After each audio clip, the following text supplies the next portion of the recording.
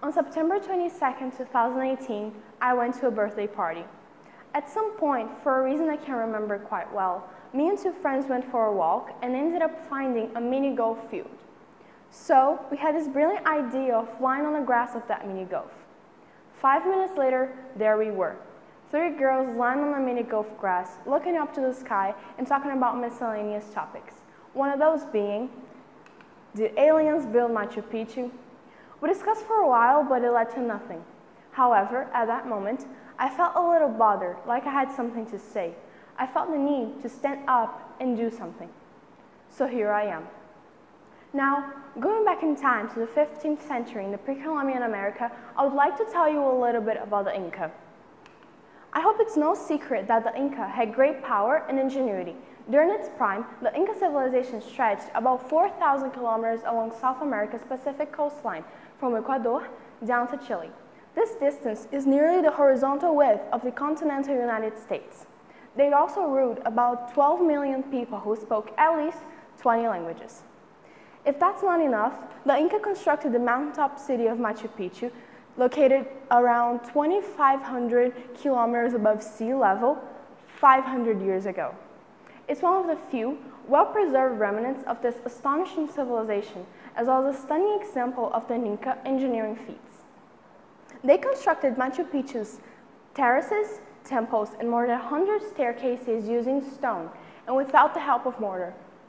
Moreover, these stones were cut with such precision that they perfectly fit together, being even earthquake-proof. Now's the time you ask, wouldn't it have to be incredibly smart to do that? Well, we can say that a fundamental element to succeed on building Machu Picchu was the efficient way of managing the labor force of millions of individuals, as well as enormous amounts of resources by having a very sophisticated system of accounting, statistics, and record keeping of such elements. Nonetheless, it's impossible to overemphasize the importance of what we could call the thought process. I guess we've established here that they were very skilled builders, but it should be noted that none of it would have been possible without mastering an advanced understanding of math, civil engineering, and topography. Although we're not questioning, I want to make things very clear between us and say that, the, um, that this understanding was inherited from the Andean people, ancestors of the Inca who had inhabited this part of the world for almost 14,000 years. They were the ones who laid all the bases to the knowledge that the Inca used. Now, let's go back to Machu Picchu. There are several theories about what purpose it served or why it was abandoned 100 years after its construction. And trust me, we could stay here for hours discussing them. But it will lead to nothing, again, without what I'll tell you in a minute. Although local communities knew about Machu Picchu, it remained largely unknown to the outside world for hundreds of years. The Spanish, who invaded the Inca civilization during the 16th century, never came across the place, and maybe for a good reason. Surprisingly, it was only in the early 20th century that Machu Picchu was unraveled, and today it stands as one of the world's most important archaeological heritages, and visitors from all around the world come to pay homage to this piece of history, including myself. That's why I felt I had something to say. During my visit to Peru in 2017, I fell in love with this culture and realized we don't give half the attention we should to Latin ancient civilizations.